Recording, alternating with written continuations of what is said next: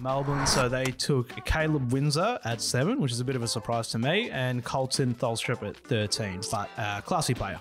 Yeah, no, the, two players I think that um, were tied to the to the D's a little bit in in, um, in the lead up to the draft, and yeah, like you said, Windsor, uh, I probably.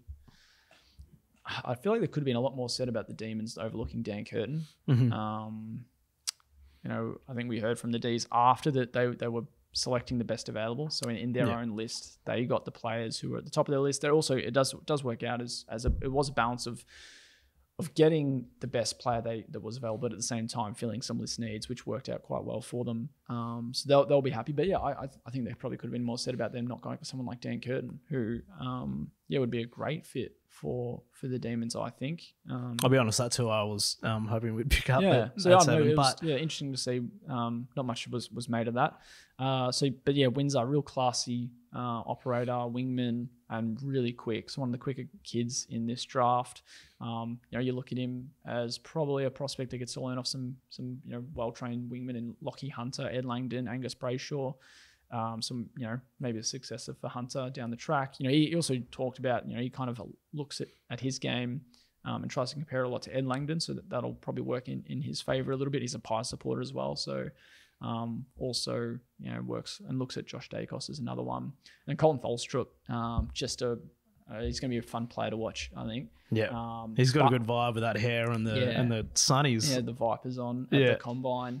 Um, real spark plug up front. You know, um, bit like Cam Zurhaar. I think he gets compared to a fair bit. Um, it's just kind of a, a bullish, you know, player in the um, in front of centre. So um, whether uh, he played some senior footy this year, and then he could get a look, I guess, um, early next year. But you know, they're, they're, Melbourne's forward stocks are, are pretty solid.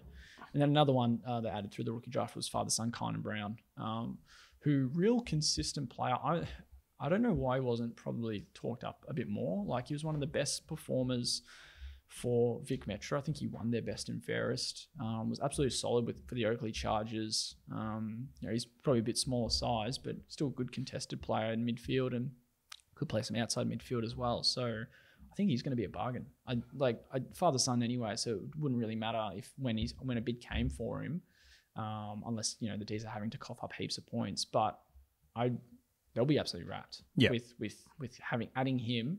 Um, you know, through as a pre-listed player rather than as a national draft player. Obviously, they didn't pick up anyone after the first round anyway, so it's not like they had heaps of plans. But um, yeah, I think he's going to be a, a nice pickup for them Yep. um, to add to their father-son ranks. Yeah.